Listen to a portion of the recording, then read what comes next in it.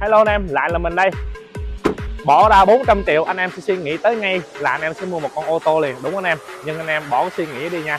400 triệu anh em mua con này cho mình. Anh em anh em biết mua xe này về làm gì không? Mua xe này về làm idol nha anh em. Rồi hôm nay lên sóng cho anh em à, một bé da Z thanh lý hải quan hồ sơ cầm tay sẵn hai tờ pháp lý là mình bao cho anh em trọn đời nha anh em.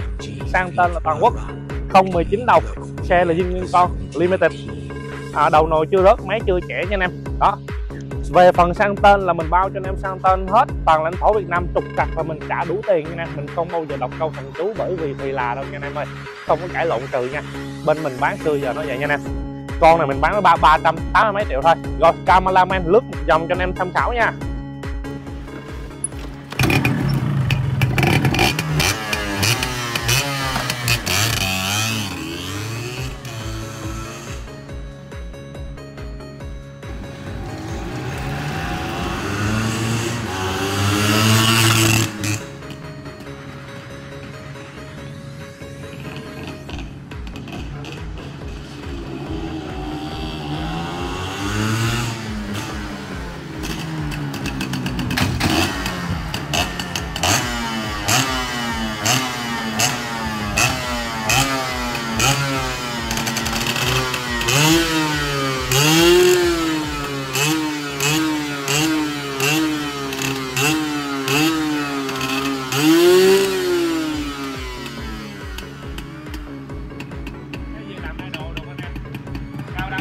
lần này con nghe tiếng nổ quá nổ quá